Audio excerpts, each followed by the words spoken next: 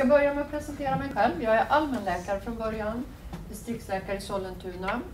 Jag blev färdig läkare 1978 och hade väl tänkt att jag skulle bli hjärtdoktor men så träffade jag en fantastiskt duktig och trevlig allmänläkare på Rotebro vårdcentral och då insåg jag att en riktig doktor, han eller hon är ju allmänläkare. Så det blev jag. Eh, men det här med hjärta kunde jag inte släppa i alla fall. Så att, att förebygga hjärt-kärlsjukdom med fokus på livsstil. Jag säger fortfarande livsstil. Jag gillar det här amerikanska begreppet lifestyle medicine och jag jobbar ju på en livsstilsmottagning nu. Men jag använder det synonymt med levnadsvanor. Eh, det har varit mitt huvudspår hela tiden, varenda dag nästan. Eh, hur man med mera rörelse och hälsosammare matvanor och med tiden har det blivit andra levnadsvanor också kan förebygga sjukdom eller hur man kan återin, minska risken för återinsjuknande. Och åren har gått så att nu har jag varit 15-20 år på hjärtklinik också. Jag jobbade först 15 år i primärvården. Och eh, de senaste 11 åren så har vi haft en livsstilsmottagning. Just nu förändras det för det sker stora strukturella förändringar i hälso och sjukvården i Stockholm just nu. Men i 11 år har vi haft en livsstilsmottagning på hjärtkliniken. Där har vi på remiss tagit emot människor som har risk för hjärt-kärlsjukdom och även människor som har, eh, redan har en hjärt-kärlsjukdom. Hälften av remisserna kommer från den öppna vården och hälften från den slutna vården. Och när folk väl har hamnat hos oss så struntar vi faktiskt rätt mycket i diagnoser och vi fokuserar på att försöka ge stöd till att förändra levnadsvanor. Eh, sitting is the new smoking. Eh, om det inte hade varit så att det pågår inspelning så hade ni gärna fått resa er, stå och gå när ni hade velat. Mat för hälsa och glädje. Ibland så tycker jag att glädjen kring maten har försvunnit. Fast det är bara de dagar man är lite trött och sur. Varannan dag så är det fortfarande roligt. Stressen ska jag prata om och sen har jag några bilder på slutet som jag tycker är viktiga och de motiverar varför vi ska jobba med levnadsvanor och eh, förebyggande. En sak som gör att jag fortfarande tycker att det här är jättespännande, jätteroligt, är att kunskapsutvecklingen är helt enorm just nu. Det fylls på med både stora observationsstudier, det är det vi kallar epidemiologisk forskning, om mat, om rökning, om fysisk aktivitet. Det fylls på med nya interventionsstudier då folk får ändra matvanor till exempel, eller öka den fysiska aktiviteten. Och vi förstår mer och mer om bakomliggande mekanismer. Varför sjunker blodtrycket om vi börjar äta mera omega-3 fettsyror i lax till exempel? Vi förstår studieresultaten på ett helt annat sätt än vad vi gjorde för bara tio år sedan. Och det här gör ju förstås att det är stimulerande, det är roligt och, och, och jobba med något som, där kunskapen ökar. Men det är frustrerande att det är svårt. Det svåraste steget är det här som Stefan har pratat om och som alla har pratat om på förmiddagen, att omsätta detta i hälso och sjukvården eller ute i skolan, ute i samhället. Det finns en hemsida som heter Global Burden of Disease. Den har funnits länge. Och de första åren så fanns den bara på europeisk nivå eller på internationell nivå. Sedan några år tillbaka så finns den på landsnivå. Bara googla på GBD så hittar du det här. Och där är det en stor, jättestor internationell forskargrupp som underhåller den här sidan och WHO finns med också i bakgrunden. Och tittar man på Sverigesidorna så ser man ju att det är fortfarande hjärt och kärlsjukdomar som är vårt stora folkhälsoproblem. Men jag eh, klippte ut en bild från sidan som rör vad är det för bakomliggande faktorer som gör oss sjuka, nedsätter vår funktion. Det här är svåra bedömningar naturligtvis. Jag tror att ni ser att överst ligger våra matvanor. Och de, jag lämnar ju mina bilder. Kom ihåg att de ska inte hamna på nätet utan använd dem för eget bruk eftersom jag klipper en del bilder direkt ur publikationer. Vad står det sen då? Det syns knappast, men det står högt blodtryck, eh, tobak, högt BMI, alltså övervikt, högt blodsocker, högt kolesterol, alkohol och droger, låg fysisk aktivitet, nedsatt njurfunktion. Något som hade klättrat upp i Sverige, och det är inte bra, det är olycksfall i yrket, på jobbet. Men hur vi än vrider och vänder och även om det kan vara svårt att rangordna de där så är det ju helt klart att Och det är som att sparka in en öppen dörr att säga det till er. Att dagens sjukvårdspanorama, det, den, den orsakas av eh, vår livsstil, våra levnadsvanor. Jag ska börja med två svenska undersökningar. De är väldigt enkla, men samtidigt är de fantastiska. Att sätta ihop en föreläsning förresten, det är som att göra ett gympaprogram. Det kommer alltid med några favoritlåtar. Det är inte bara för att man är lite lat, utan det är för att de är viktiga och de är taktfasta. Och de här är ju svenska, så det är roligt att titta på svenska resultat eller siffror. Tänk er 24 000 kvinnor, de är postmenopausala alltså, de är 48 år och mer. De är på mammografi och när de ändå är där så passar man på och ber dem att fylla i en väldigt omfattande enkät. Hur de lever sina liv. Sen följer man de här friska kvinnorna, hade inte bröstcancer i början till exempel, eller hjärt-kärlsjukdom, i 6,2 år. Och då såg man att bland de kvinnor som hade skrivit att jag äter grönsaker, frukt och bär varenda dag. Jag äter bröd men jag väljer alltid det grova. Jag äter fisk flera gånger i veckan. Jag röker inte, jag är måttlig med spriten, jag rör mig ungefär en timme om dagen. Jag tycker inte själv att jag är överviktig. Hade man fått kryss, satt i kryss för allt det där så var det oerhört få som fick hjärtinfarkt. Det var åtta stycken. Och det var väldigt lite jämfört med de kvinnor som inte levde väldigt hälsosamt. De hade faktiskt 92 procent lägre risk. Det är väldigt mycket. Om man läser den här rapporten så såg man att det var bara 5 procent av kvinnorna som uppfyllde alla de där hälsokriterierna. Och då kan man ju tänka att oj, vilken outnyttjad potential. För här har vi nämligen den vanligaste dödsorsaken hos kvinnor i Sverige. Så många hjärtinfarkter vi skulle kunna förebygga. Och liv och rädda. Gubbarna då? Ja, det kom lite senare, för det var bara ett par, tre år sedan. Då har man bett nästan 21 000 svenska män, och de är 45 och upp mot 80, och de fyller i en väldigt liknande enkät. Det är en, en annan forskargrupp på Karolinska som har gjort det här. Och de här männen följer, följer man i drygt ett decennium. Och då är det ju några som får hjärtinfarkt, 1361 stycken. Och då såg man att män som hade skrivit att jag är måttlig med alkohol, det betyder till exempel att de inte drack mer än två glas vin om dagen. Jag äter hälsosamt. Det var en hel skål som jag inte hinner gå in på, men det var det gamla vanliga, att mycket grönsaker, frukt och bär och oljor istället för fasta fetter, eh, fibrer, fisk och så vidare. Jag röker inte. Jag är fysiskt aktiv. kunde betyda till exempel att man cyklade eller promenerade 40 minuter varje dag eller att man motionerade en timme i veckan. Och här fick de mäta sig med ett måttband. Och var de mindre än 95 centimeter om midjan så fick de kryssa i att jag har ingen bukfetma. Egentligen går ju gränsen vid 102, definitionen bukfetma som bör åtgärdas, men här var de stränga. Eh, ja, gick det för de männen då?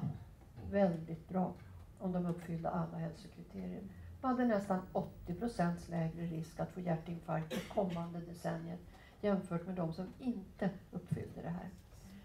Den här gången var löpsedlarna på våra kvällstidningar faktiskt inte så dumma. Man ska inte alltid tro på det som står på löpsedeln. Det här publicerades i en ganska bra amerikansk tidskrift och det här snappade media upp och det stod fyra av fem hjärtinfarkter hos svenska män borde vara förebyggande hälsosamma hälsosammare livsstil. Det stod inte precis där, det var säkert något lite tillskruvat. Men den här gången så var de faktiskt ganska sant. Eh, och här finns det ännu fler liv att rädda. För det var bara en procent av alla män som levde sådär hälsosamt. Rörde sig, åt grönsaker, rökte inte, var måttliga med spriten, smalna och vanliga. Det här det bevisar ingenting. Det bara ger oss en aning om att livsstilen spelar en väldigt stor roll. Men vi går vidare. Sitting is the new smoking. Vad betyder det? Som jobbar med rökavvänjning gillar inte alltid att vi säger så här, men jag ska motivera varför. Och här kommer en favoritlåt. Och den här visar jag nästan varenda dag, för jag tycker att Eurobarometern fick alldeles för lite uppmärksamhet. Det är nämligen vår senaste europeiska undersökning om hur vi rör oss i EU-länder, rörelsemönster. Och det gjordes i form av nästan 28 000 hemintervjuer. Man frågar människor alltså. 15 år och uppåt. Och man försökte hitta representativt urval av befolkningar. Vad fann man då? Jo, 60 procent ungefär av européerna de sa att jag motionerar, sportar sällan eller aldrig. Män sa att de motionerade mer än kvinnor. Gör de det?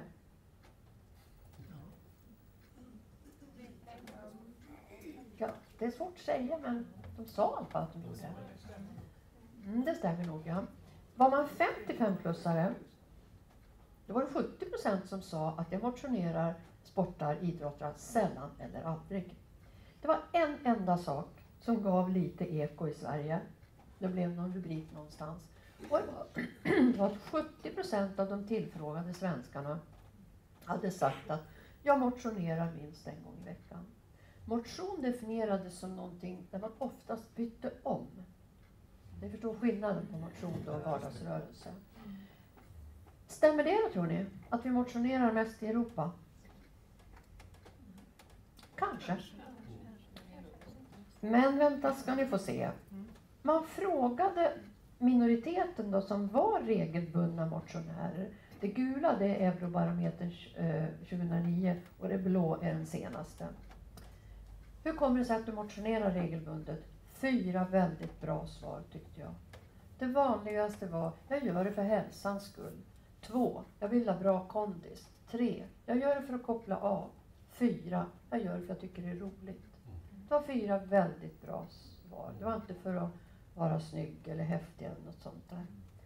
Men kanske ännu viktigare att man frågade de som inte motionerade regelbundet, varför inte? Det var ganska väntat att det vanligaste svaret var, jag har inte tid. Två, nej jag är inte motiverad, jag är inte intresserad. Och det är det vi har pratat om stor del av, av förmiddagen. Mm. Hur kan vi locka, inspirera, hjälpa människor att bli motiverade? Och trean, jag har något som hindrar mig. Jag börjar få artros i knät eller jag har nyligen gått igenom en tuff cytostatikakur. Här måste vi i hälso och sjukvården bli mycket bättre på att ge individualiserade råd om fysisk aktivitet. Fyra, det är för dyrt. Det är dyrt att motionera. Nej, Nej det skulle inte behöva vara, men det var så man upplevde det i alla fall. Vi bläddrar på i rapporten. Ibland har jag undrat om det var bara sådana nördar som jag som verkligen läste hela från pärm till pärm. För långt bak så fanns uppgifterna om, man frågade också folk, de fick själva skatta, hur mycket sitter du tror du en dag? Och då hamnade Sverige i det absoluta bottenskiktet. För var femte svensk ungefär hade sagt att ja, men jag sitter nog minst åtta och en halv timme om dagen. Men vi var inte ensamma i bottenskiktet utan där var till exempel Danmark och Holland också. Det här som framskymtar, det har en grupp som motionerar ganska mycket. Vi låg ju i topp där alltså. Samtidigt emellan motionstillfällena sitter de och så har vi många som bara sitter och inte motionerar. Det är ett väldigt modernt rörelsemönster i norra Europa. Portugiser, de satt minst om jag minns rätt. Men det var mycket värre än så. Och det här är gjort på västkusten. Och här har man, som Stefan pratade om, hängt på folk en accelerometer. Den mäter rörelse. Så blir det spikar så här. Sitter man i tv-soffan väldigt stilla, då blir det inte många taggar. Och är man ute och går raskt så, så blir det många taggar. Den mäter rörelse. Och då såg man, den här bilden den är rätt hemsk faktiskt. Vet ni vad snitttid i sittande var när man mätte objektivt? Mer objektivt i alla fall. 9,9 timmar för karlarna och 9,3 för kvinnorna. De här är i övre medelåldern och de bor på västkusten, 50-64 år. Och det allvarligaste, och det vet vi med säkerhet idag, det var att tre, fyra av de där timmarna var i ganska oavbrutet sittande. Då stänger vi ner vissa enzymsystem till exempel. Det var faktiskt bara 7 procent som rörde sig så mycket så att man uppfyllde våra rekommendationer om hur mycket vi borde röra oss för hälsans skull. Och det är därför som vi tycker att det passar skapligt bra att säga att sitting is the new smoking. För rökningen har minskat kraftigt i Sverige, men så kommer det nya hälsorisker. Och det är inte för att förringa rökningens negativa effekter, naturligtvis inte. Utan det är för att lyfta eh, de farliga sakerna med att vara fysiskt inaktiv. Här kommer en annan favoritlåt som jag har visat många, många gånger sedan det kom. Och jag vill visa några siffror ifrån den senaste, jag har inte sett någon färskare faktiskt, internationella undersökningen av barns rörelsemönster. Det här är gjort i tätorter, storstadsområden, i Australien, Brasilien, Kanada, Kina, Colombia, Finland, Indien, Kenya, Portugal, Sydafrika, England, USA. De här barnen de är alltså i tioårsåldern. De har haft en accelerometer en vecka och så har de fyllt i frågeformulär tillsammans med sina föräldrar. Om ni har hört om den här så får ni inte svara nu, men vad tror ni att snitttid i sittande är för tioåringar idag ute i världen? Tio år. Ni som har barn kommer ju ihåg hur mycket man rör sig ungefär när man är tio. Åtta timmar säger du. Fler bud? Sex timmar? Fler bud? Nej, det är lite tyst. Nio, tio timmar. Den här bilden den tycker jag är jätteoroande. Men den är också fascinerande. Titta här. Det var ingen större skillnad mellan pojkar och flickor.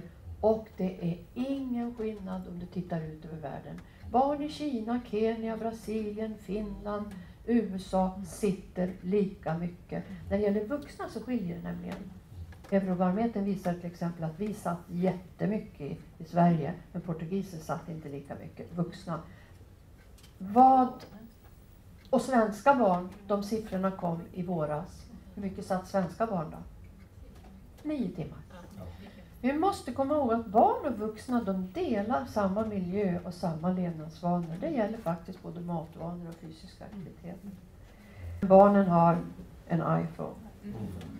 Det är det som sprider den här epidemin snabbt och effektivt över hela världen. Men är det bara det? Om vi tänker oss Sverige, varför sitter svenska barn nio timmar varje dag? Ja, de måste gå i skolan, men de måste ju inte sitta i skolan. Nej, men det gör man ju. Ja, det gör. Alltså, för hundra år sedan gick de ju inte i skolan. Nej, för hundra år sedan gick de inte i skolan och det var ju inte bra. Det håller jag fullständigt med om. Ja, de var ute och lekte. Och vi har ju vunnit otroligt mycket, men det kommer nya hälsorisker och så tar det ett tag innan vi fattar att de har kommit över oss så att säga. Varför sitter svenska barn så mycket? Varför var inte våra siffror bättre? Upplysta. Föräldrarna sitter ju ganska många. Föräldrarna sitter ja, precis. Man gör som sin mamma och pappa. Man gör som mamma och pappa sitter, säger. Sitter ja.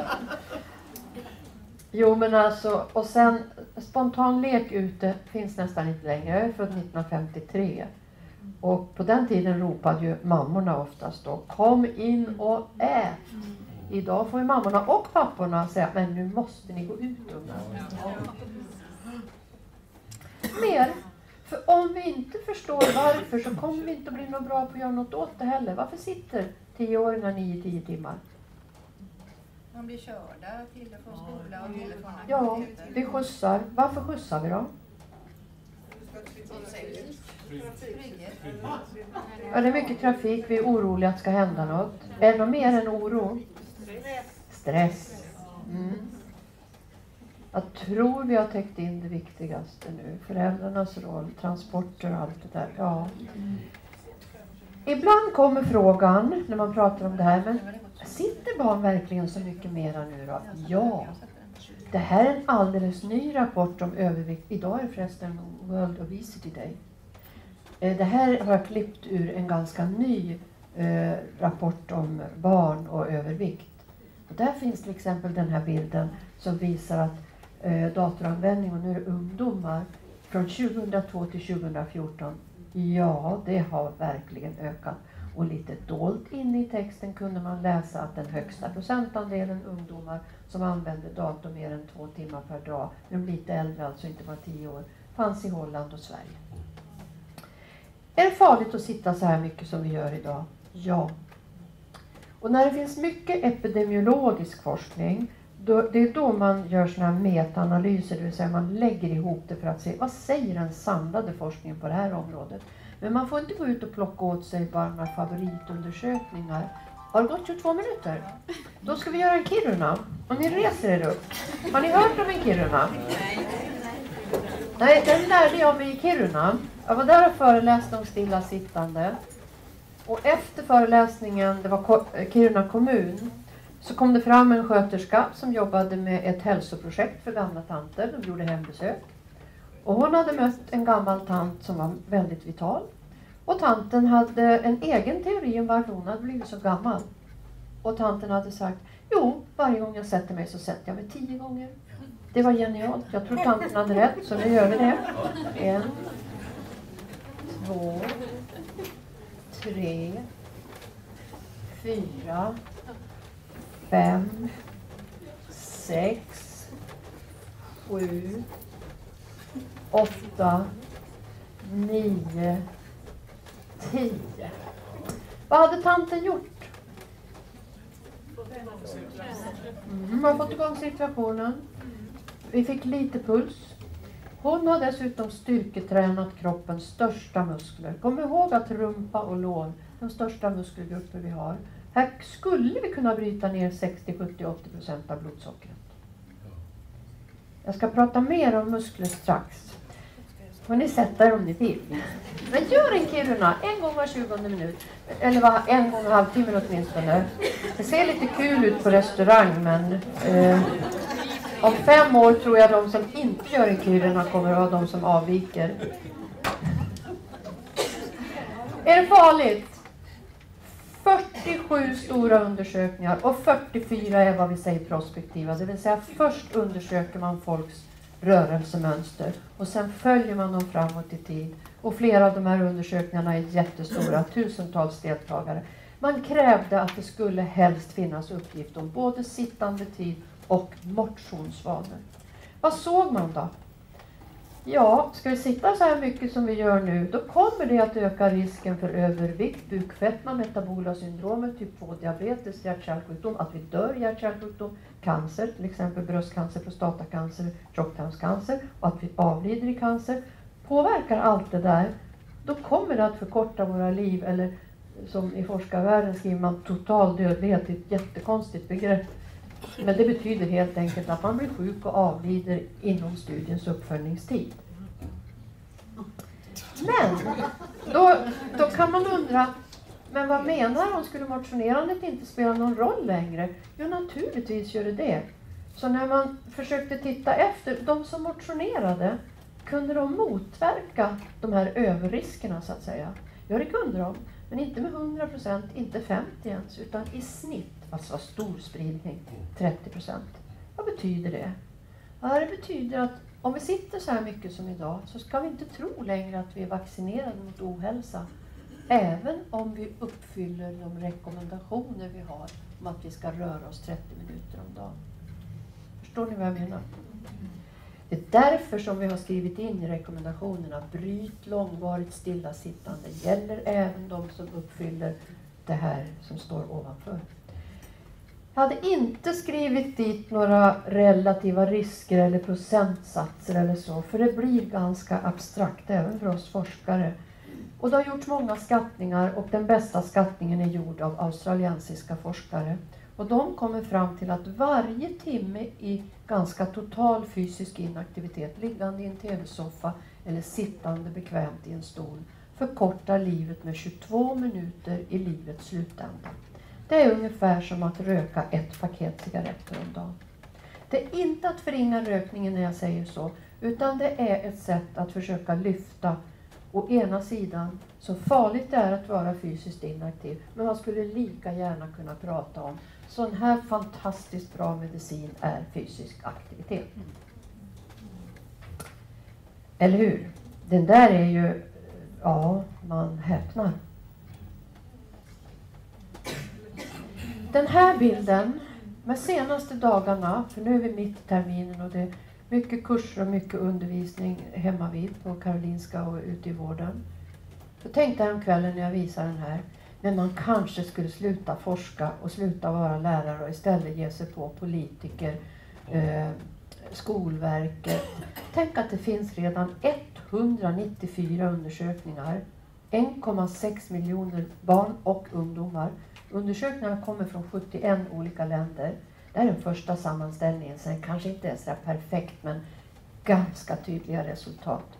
Och naturligtvis gäller det även för barn att ju mer de sitter dosberoende, desto högre blir deras risk att sjukna i hjärt-kärlsjukdom. Men studierna har inte pågått i 50-60 år, så man kan titta på vilka barn får hjärtinfarkt. Utan här nöjer man sig med, och får, man får, måste ju göra det, att mäta blodtryck, blodsocker, blodfetter, midjemått kanske. Och en del av de här studierna är tvärsnittsstudier också. Och särskilt tv-tittande sticker ut som farligt. För det är en väldigt passiv form av att sitta. Usch vad ni ser allvarliga ut. Ja, jag känner ju. Nej men snart kommer det roliga. Behöver inte vara orolig. Vi stod och åt lunch. Och det var en väldigt fin lunch.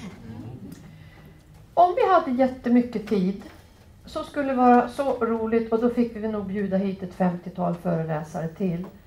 Kunskapen, det här är bara min hjärtkärlbild, Kunskapen om vad fysisk aktivitet gör med blodfetter, risk för rytmrubbning, gör med insulinkänslighet, gör med fettlever, gör med bukfettman, hur det påverkar vårt blodtryck. Den kunskapen har ökat enormt mycket.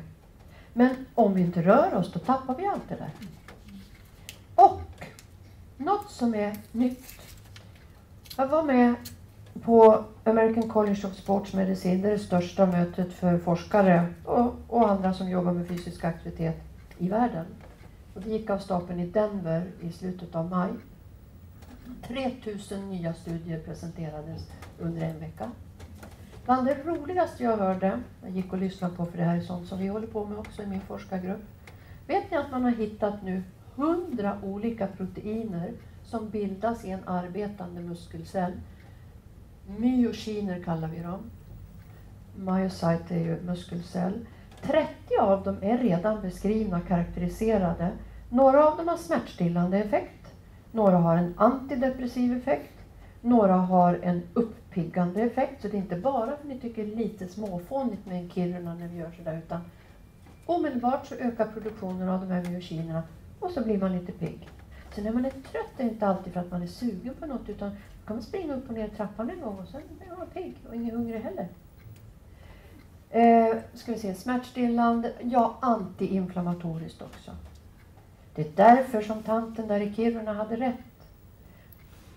Och just det, jag glömde att berätta att Cecilia Björkelund, här på västkusten, hon gjorde ju en fantastisk studie en gång i tiden som visade att ju tjockare lår en kvinna har, desto längre lever hon.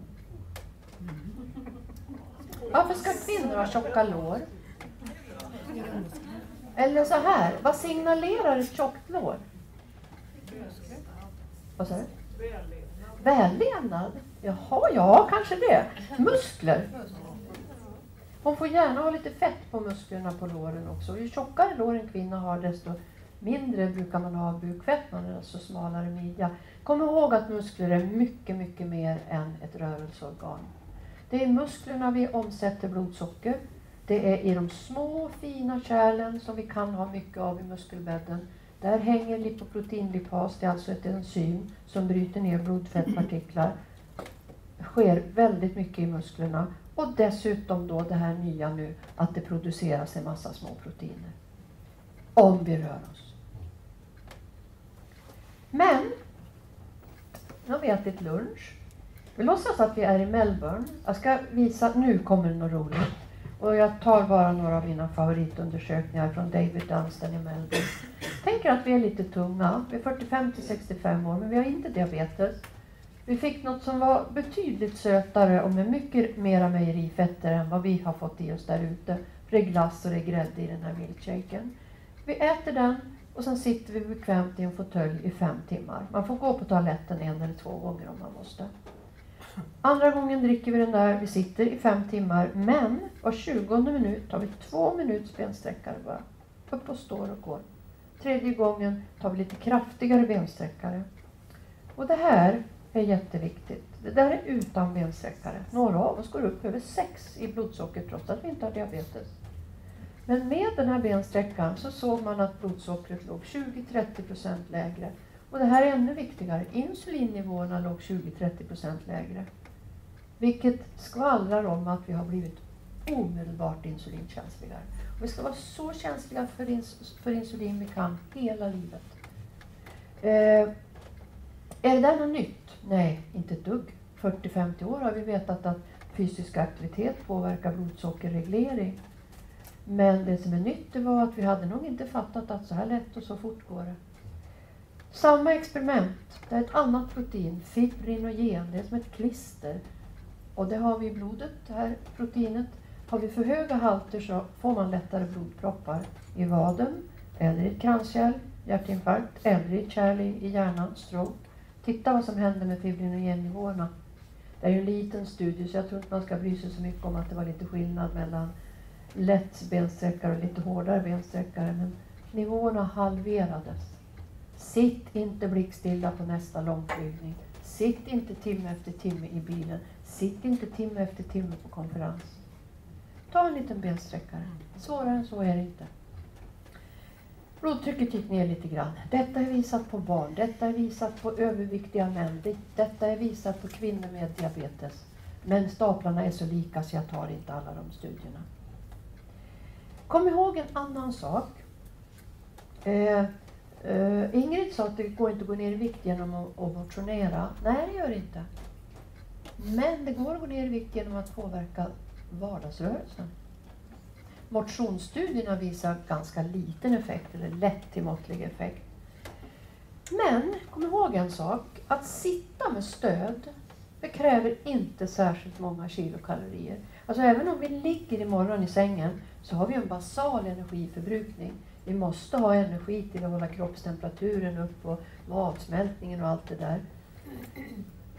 Men det vi har att spela med, det är den energi vi förbrukar med fysisk aktivitet. Vi har inte så mycket annat. Ja, om du får feber så ökar energiförbrukningen lite grann.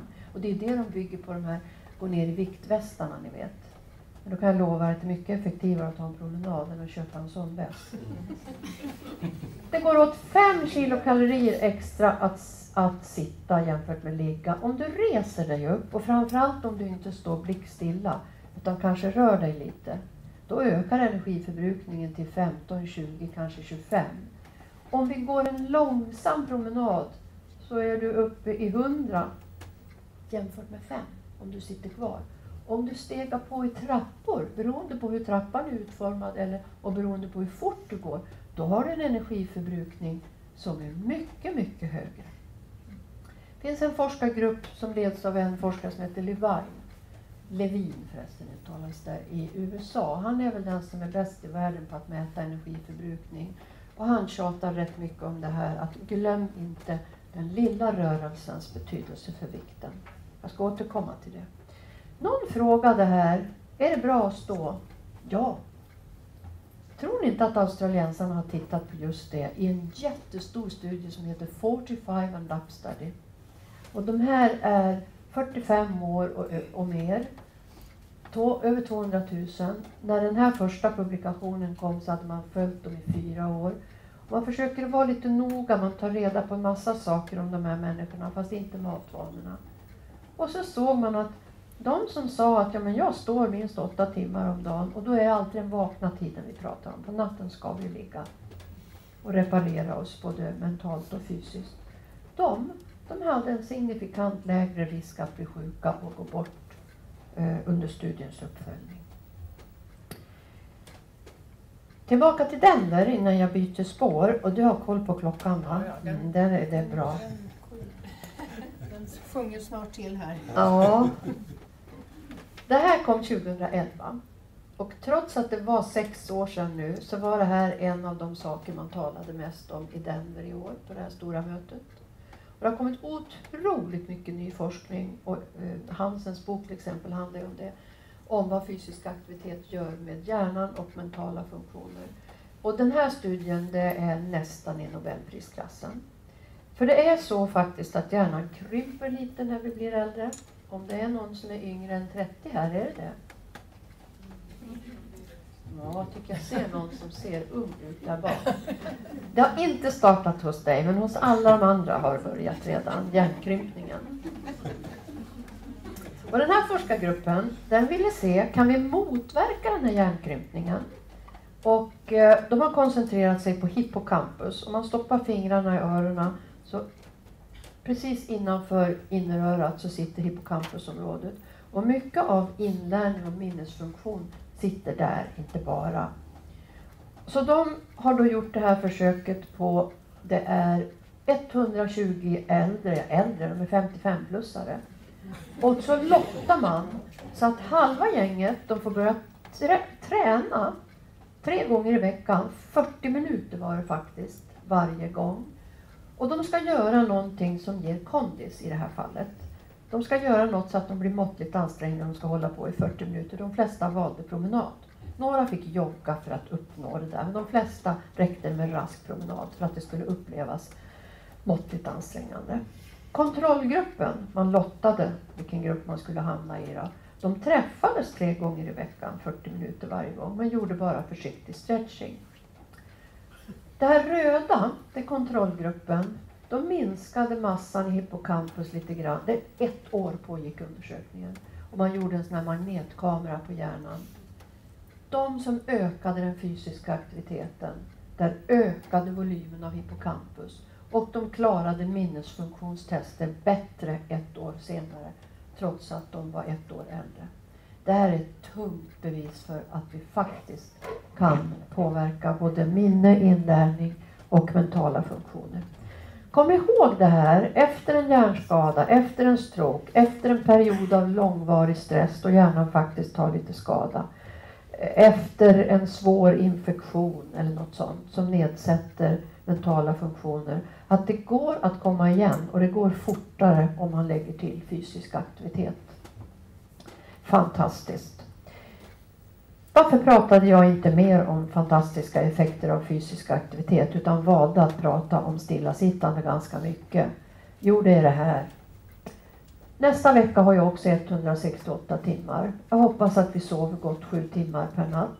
Det är 119 vakna timmar kvar. Tänk att vi har någon som tränar regelbundet tre gånger i veckan, kanske till och med fem. Kör hårt också. Men det är ju ungefär 115 timmar kvar.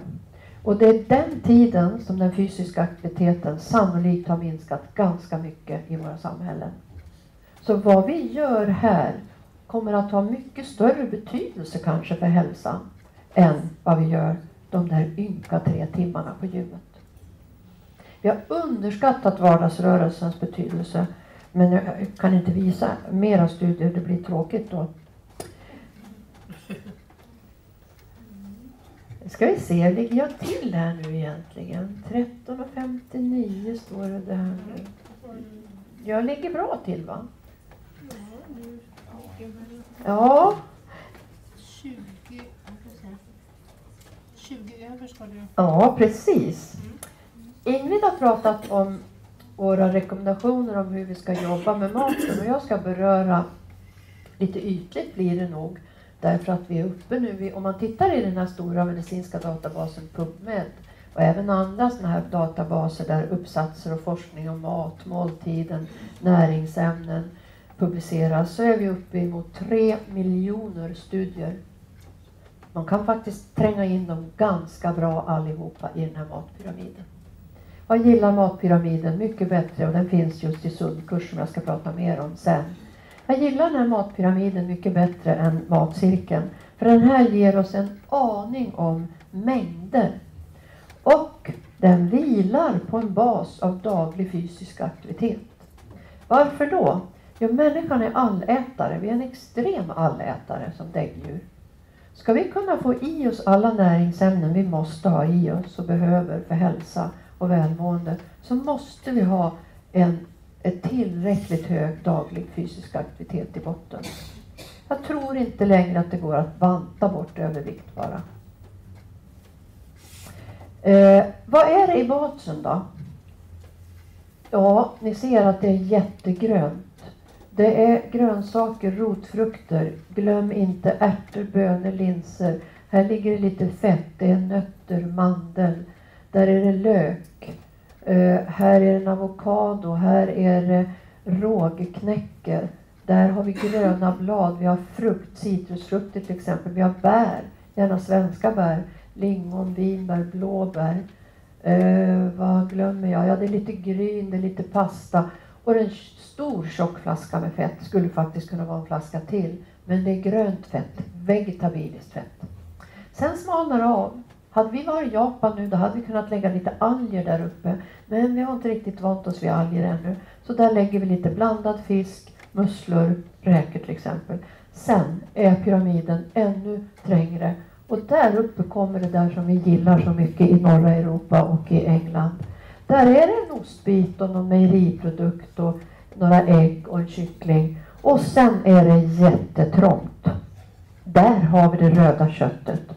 Och överst, fast det ser inte ni, där ligger det faktiskt några chokladrutor och så är det en röd liten prick, det är en lösgodis. Vad är det i botten? Det är jättemycket kolhydrater, men det är schyssta kolhydrater och det är mycket fett också i oljan och i nötterna och mandeln till exempel. Och sen är det nyttiga fetter där i, i fisken också. Eh, eller också kan man om man vill läsa nya nordiska näringsrekommendationer, men den är svårsmält. tog fem år för hundra nordiska kostforskare att gå igenom all nytillkommen kostforskning efter 2004 var det. Det var världens färskaste, mest uppdaterade kostråd fram till för ett par år sedan ungefär. Men då kom till exempel de amerikanska. Men man kommer fram till samma sak ungefär. Man har till och med lånat den här bilden som Ingrid visade på förmiddagen och som kommer att dyka upp igen. Är man intresserad så titta på de här amerikanska hemsidorna. Jättefint material. Vad är det för forskning man granskar? Jag ska ta några bilder kring det. Och den första stora sammanställningen av matmönster den kom för inte så länge sedan. Det här är en favoritlåt. 2008 så bestämde den här forskargruppen att man skulle leta efter undersökningar där man mätte allt folk åt, det vi kallar matmönster. Och de hittade ungefär 60 undersökningar men det var bara 12 som man tyckte höll måttet. Nu tycker jag som du sa Stefan att det kommer och går. Men ni hör mig? Ja. Det skulle till exempel vara en bra kostregistrering. Studien skulle starta där och sen sträcka sig framåt. Man skulle helst ha kontroll på andra viktiga faktorer. Och då var det bara 12 som höll måttet. Men det blev en och en halv miljon studiedeltagare tillsammans. Den kortaste studien var 3, den längsta var 18. Och nu kommer det några sådana här bilder. Det är ofta så metaanalyser redovisas. Och ligger det något svart eller blått till vänster, då betyder det att studien visade någon skyddande effekt. Och ligger det på höger så är det en negativ effekt. Är det dags för en Kiruna igen. Vilken fin signal du har.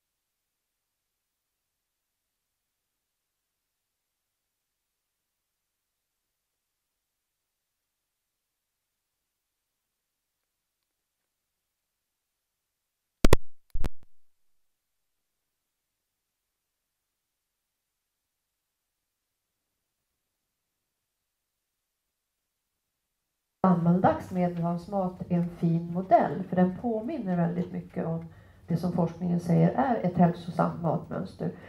Alla studierna visade att åt man på det där viset, då levde man längre. Och det var ju inte bara studier från Medelhavet som den där grekiska till exempel, utan här finns också svenska och amerikanska undersökningar. Det där var inget nytt, men det där var en av de första stora sammanställningarna. Vi tyckte verkligen inte heller att det var något nytt att man fann i den här genomgången att åt man på det där viset, tänk pyramiden alltså, då hade man alltid en lägre risk att få hjärt-kärlsjukdom. Det som var roligt, tyckte jag, det var att samma genomgång visade att samma matmönster var förknippat med en minskad risk att få cancer under studiens uppföljning. Och det är tomt på höger sida. Och inte bara det, samma matmönster visade att det eh, minskade risken för neurodegenerativa sjukdomar. Parkinson, demens, Alzheimer. Sen har det kommit nya metaanalyser, studie efter studie efter studie. Och samma grupp kom, har kommit med två nya metaanalyser, men jag visar inte dem för att studieresultaten var precis de samma. För 15 år sedan ungefär började det bli populärt med lågkolhydratkoster. Och den vinden den kom från USA. Varför funkar de förresten som viktnedgångsmetoder? Det har att göra med att vi sitter så mycket.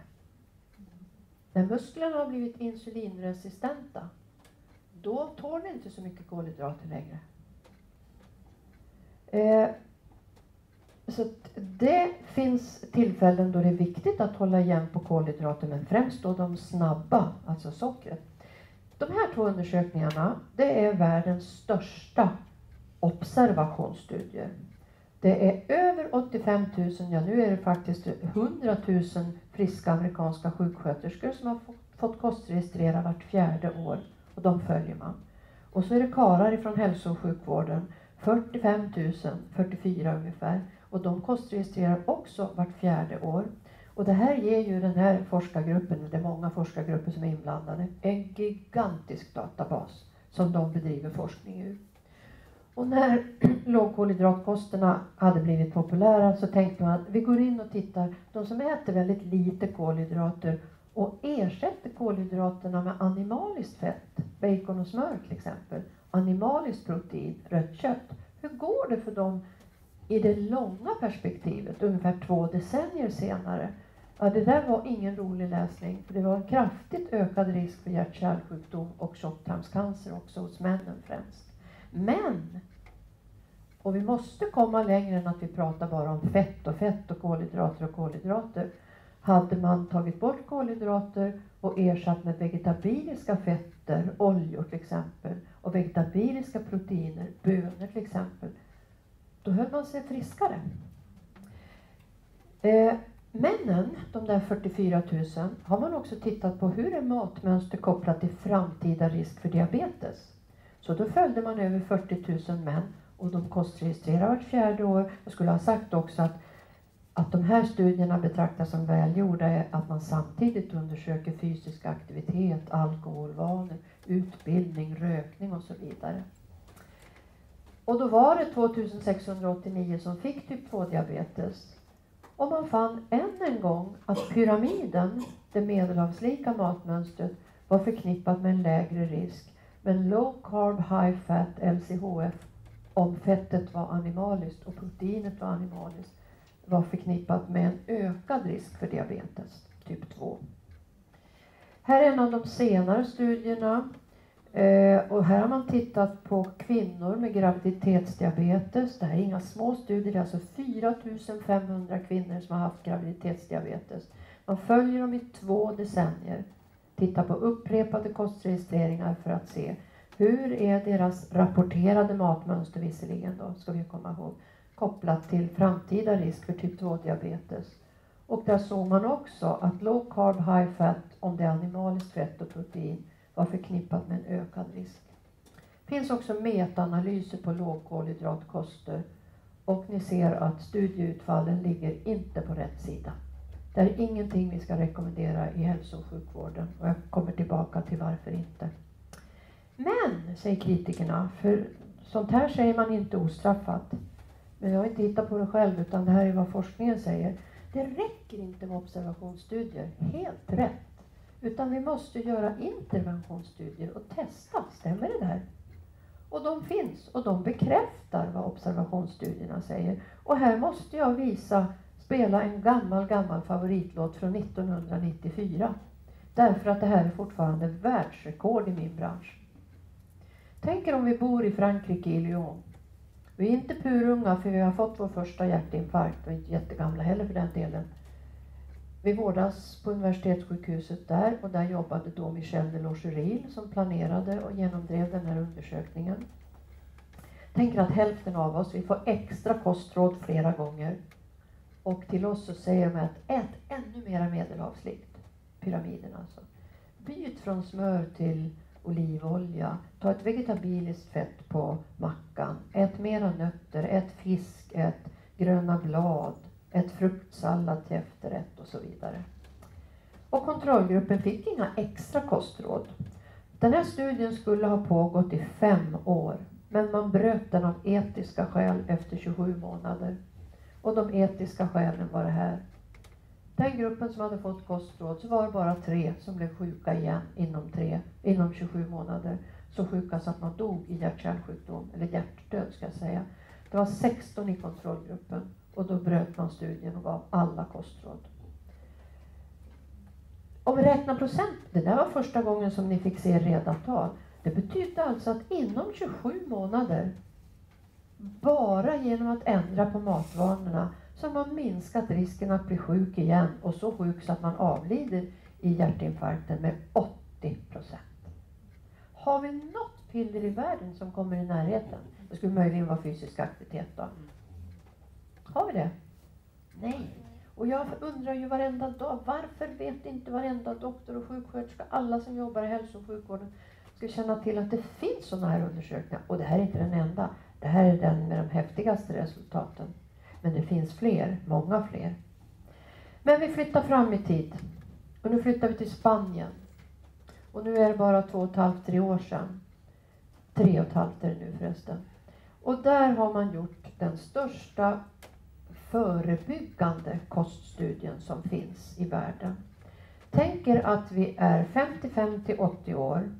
Vi bor på 11 olika ställen i Spanien, för det är 11 sjukhus och vårdcentraler som har gjort det här tillsammans.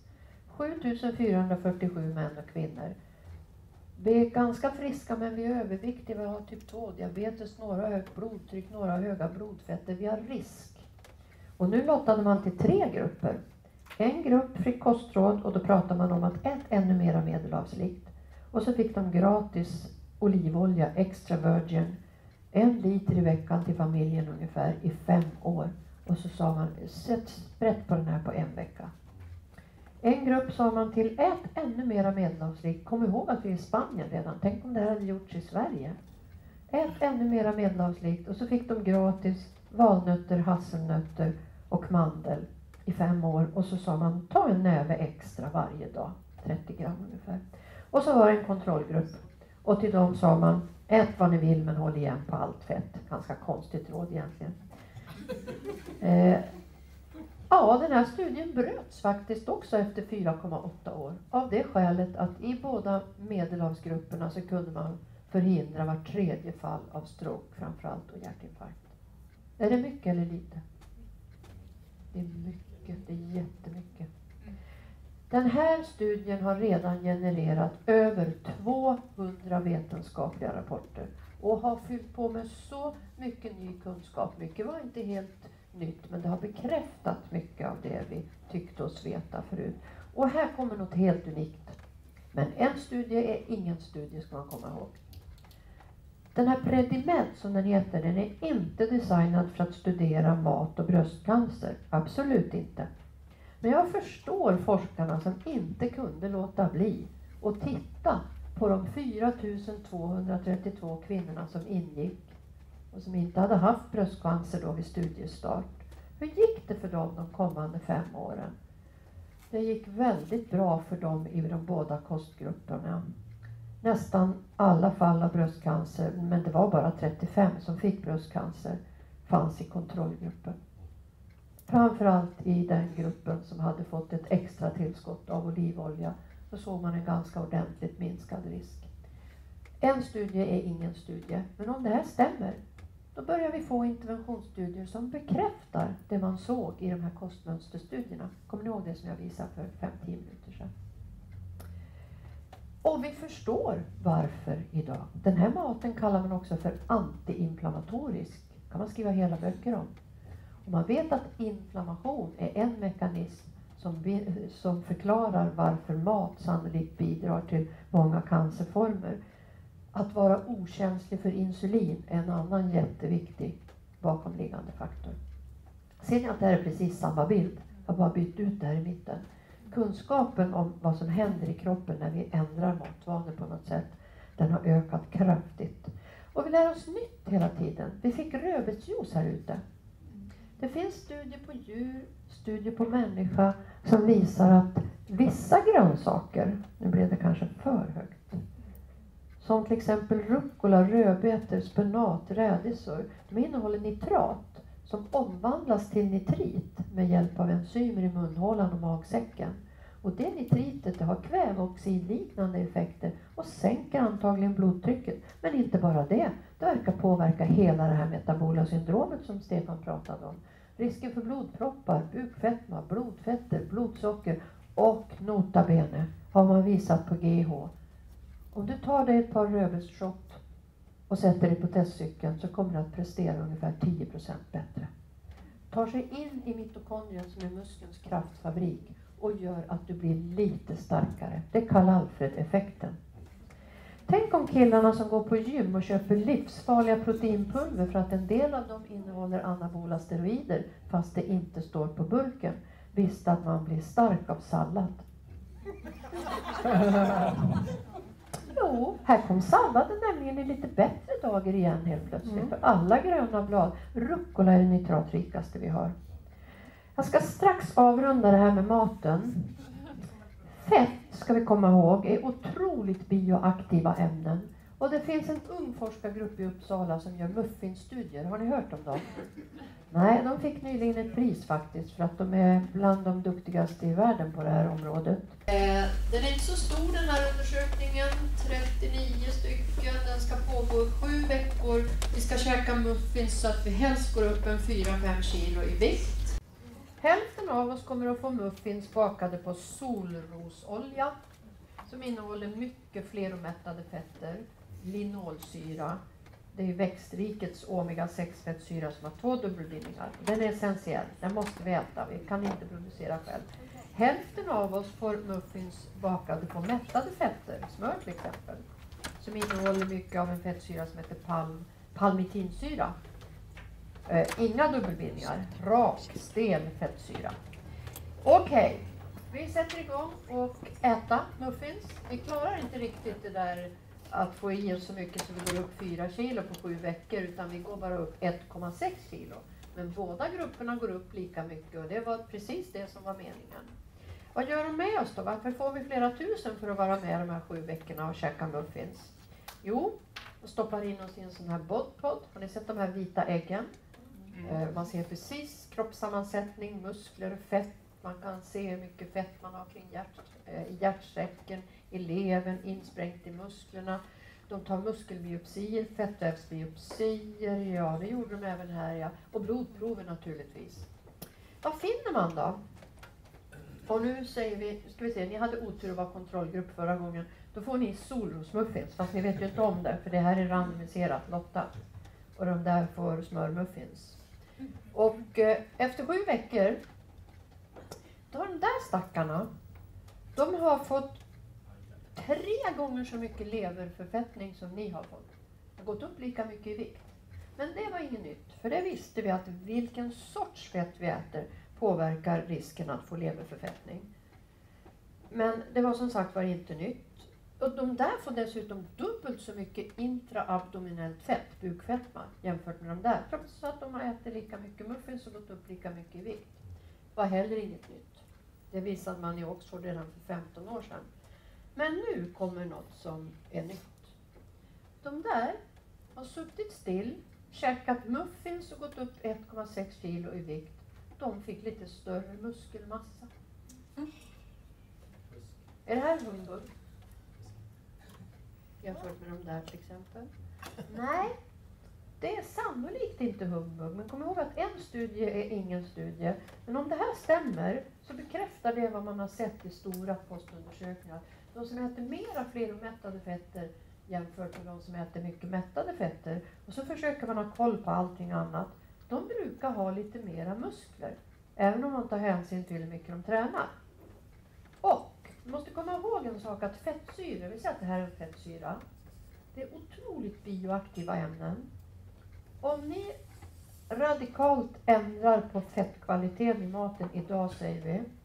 Någon byter från smör och Bregott till olivolja och något vegetabiliskt fett på mackan och börjar käka fisk. Och någon gör precis tvärtom säger vi.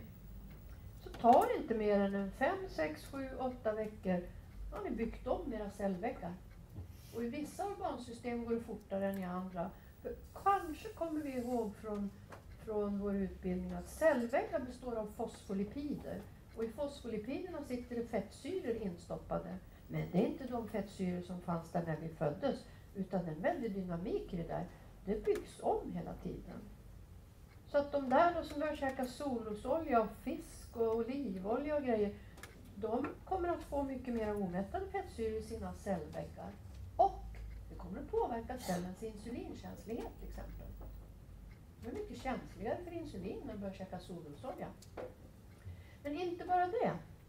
Idag vet vi att det finns små fatty acid binding proteins och fatty acid transport proteins som tar in fettsyran ända in i cellkärnan.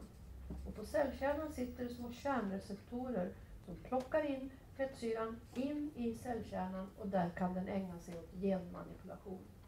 Den kan aktivera vissa gener, uppreglera säger man i forskarvärlden, och nedreglera andra gener. Och antagligen är det så hos de här som har käkat solrosmuffins att linolsyran tar sig in i cellkärnan och aktiverar gener som producerar proteiner som behövs i våra muskelceller.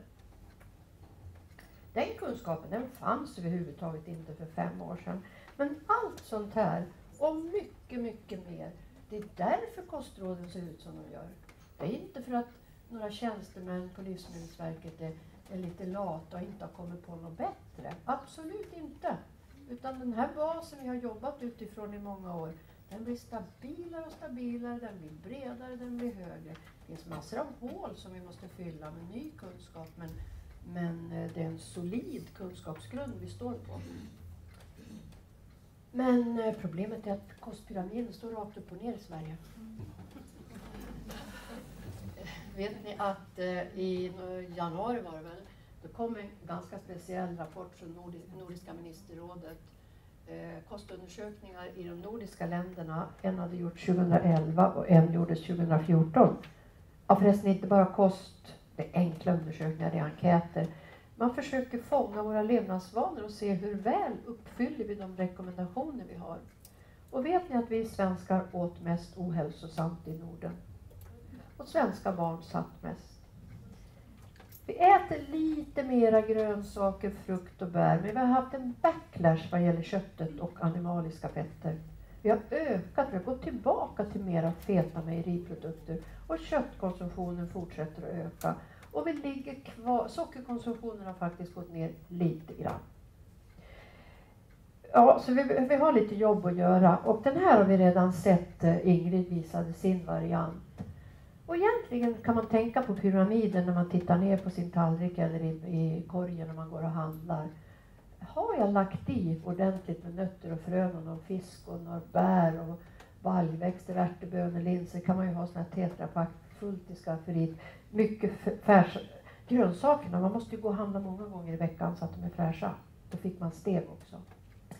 Håll igen på korven och rött kött, söta drycker, salt, var rimligt försiktig med alkohol. Ta inte bort brödet, men välj det grova. Sluta inte äta fett, men skifta från kossans fetter till de vegetabiliska och glöm inte fisken och nötterna. Där har vi fett också. Och vi gillar ju våra mejeriprodukter och det är inte bara dåliga saker i mejeriprodukter. Men vi har så mycket. Vi har yoghurt, vi har keso, vi äter mycket ost. Vad har vi mer? Ja, vi har alla mjölksorter. Kvarg har vi. Glass har vi. Så därför, precis som Ingrid sa, så ska vi välja de magra. För då får vi bort transfetterna och de mättade fetterna, men vi behåller de schyssta proteinerna och A och D-vitaminerna och kalken till exempel. Så det där, det är det bästa vi har. Ja, jag återkommer till det där sen. Men nu hörni, ska vi prata stress.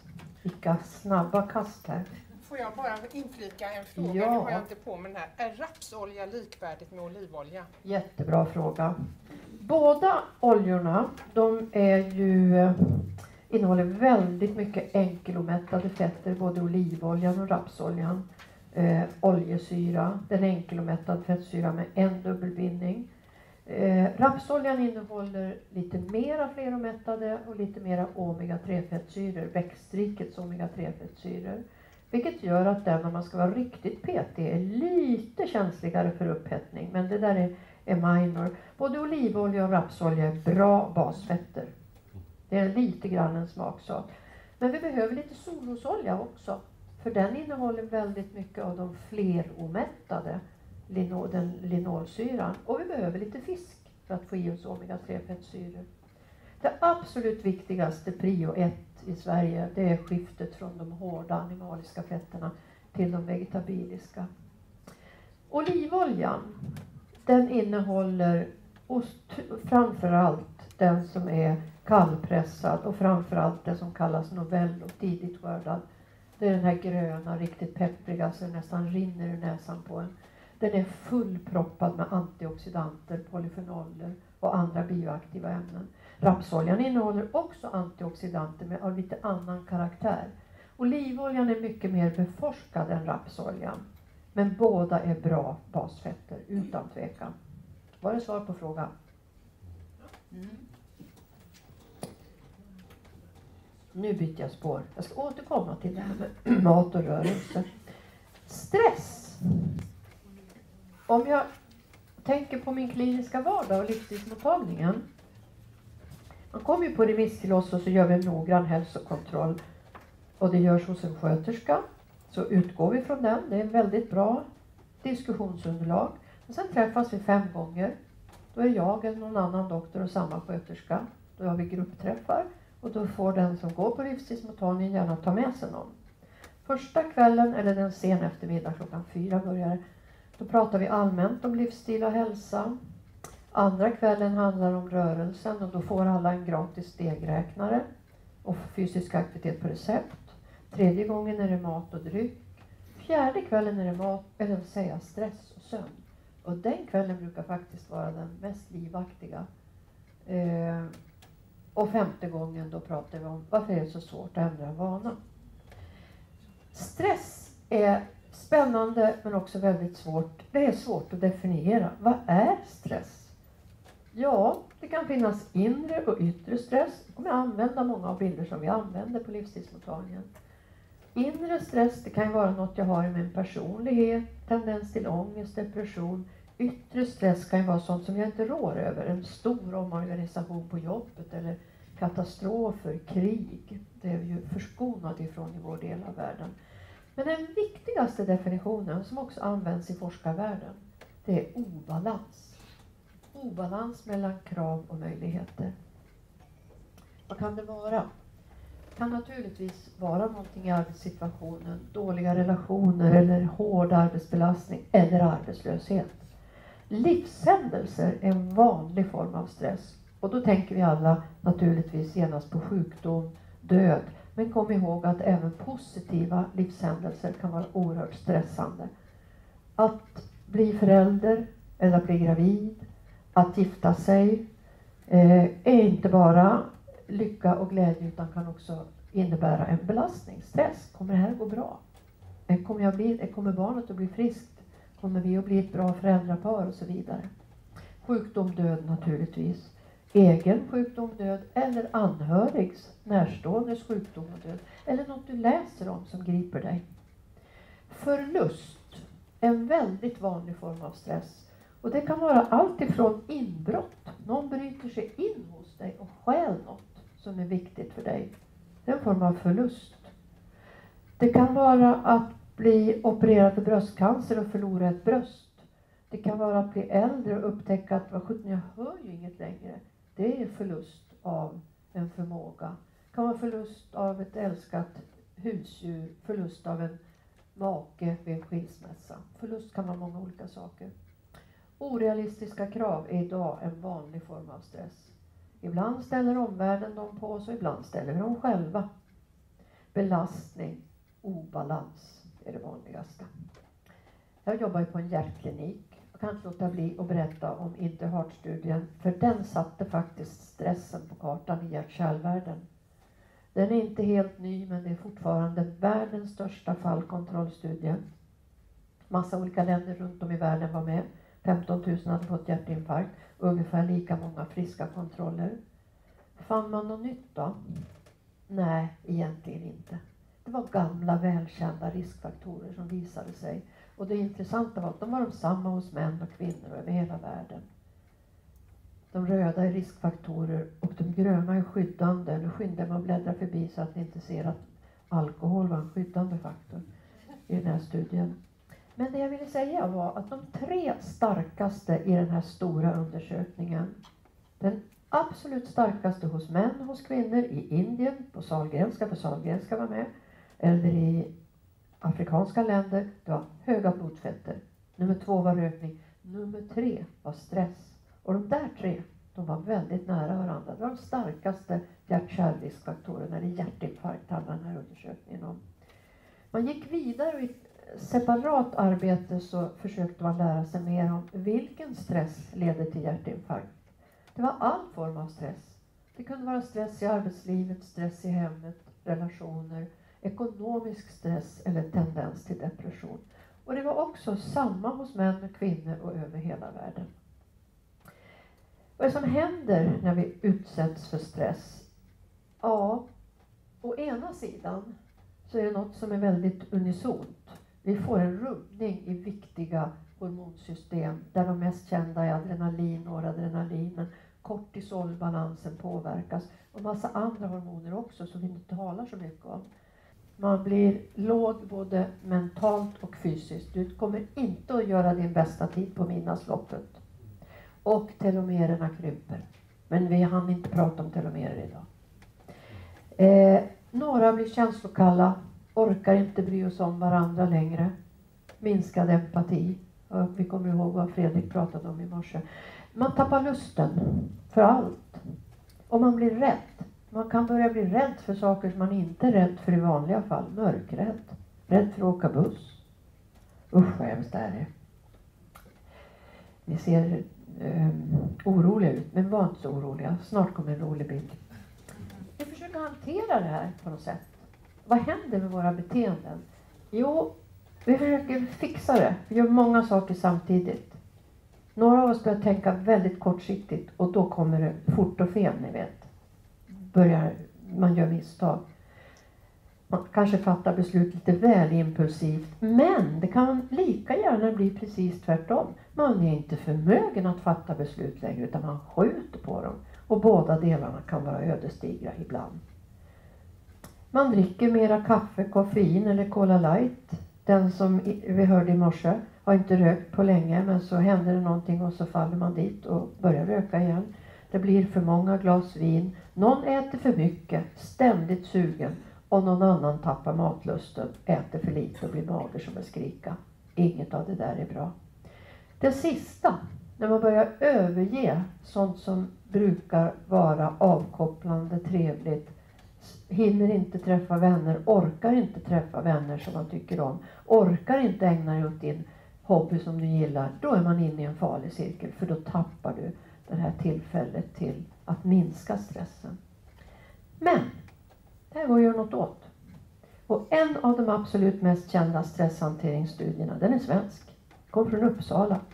En svensk allmänläkare och ett annat gäng, Mats Gulliksson, de gjorde det här på 362 män och kvinnor i Uppsala som hade hjärtinfarkt.